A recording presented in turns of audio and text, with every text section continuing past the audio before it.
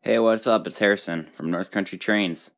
And today I'm going to be showing you something I've never showed anyone on YouTube, on my blog. No one's ever seen it. And that's my secret O gauge collection. So let's get started. First up, we have this item that I got at uh, the Great Train Extravaganza in Albany a couple years ago. Uh, this was a real bargain. I'm pretty sure I paid somewhere around zero bucks for it, and it's really great condition.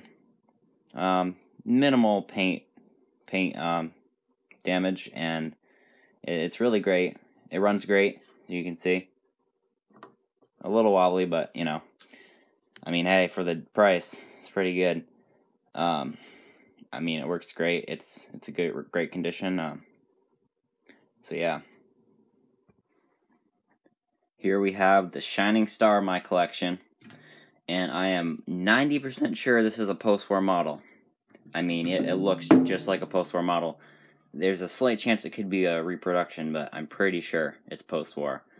Uh, really great paint job, um, great condition, a tiny bit of rust here and there, but I mean, it's it's a great model. Um, you know, all the moving parts work pretty well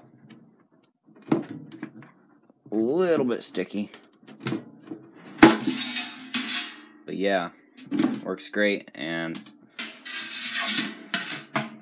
got a great deal on that too. I hope you've enjoyed this brief review of my O-Gauge collection.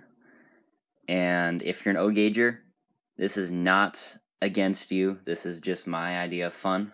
I hope you enjoyed the video, and um, thanks for watching.